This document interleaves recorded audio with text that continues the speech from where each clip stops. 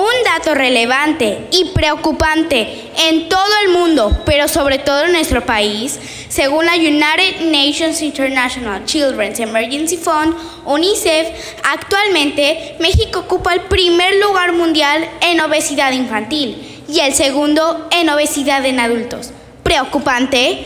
Pues otro dato alarmante es que de acuerdo a la encuesta nacional de salud y nutrición, en Sanud, uno de cada tres adolescentes de entre 12 y 19 años presenta sobrepeso u obesidad, lo cual representa más de 4.1 millones de escolares conviviendo con este problema. Buenos días a todos los asistentes. Es un gran honor para mí estar aquí presente. Mi nombre es Regina Reyes Maya y vengo representando orgullosamente a Cozumel. El día de hoy les expondré el tema que elegí, la escuela que quiero y qué hago por mi escuela. ¿Saben por qué me preocupan tanto estos números? Porque ponen en riesgo la salud de muchos niños y adolescentes como yo, que no podrán crecer sanos, fuertes y totalmente felices como cualquier niño de su edad.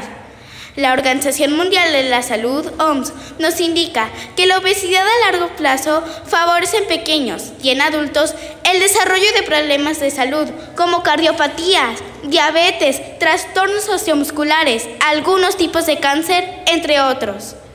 La vida de un niño no solo se ve afectada en la salud, sino también en el rendimiento escolar, falta de atención, falta de concentración y sobre todo emocional Recordemos que dicen por ahí, mente sana en cuerpo sano. Todo lo anterior me lleva a proponer que en todos los colegios se implemente, dentro de las asignaturas ya llevadas en las escuelas, una materia obligatoria enfocada en nutrición saludable. Sí, donde nos hablen de alimentación balanceada, trastornos alimenticios, enfermedades degenerativas y medidas preventivas.